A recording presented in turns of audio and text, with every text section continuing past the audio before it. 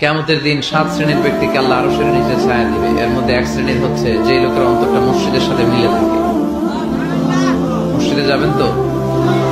পাঁচ ওয়াক্ত সালাদ জামাতের সাথে আদায় করবেন তো? আল্লাহ তুমি তৌফিক দাও।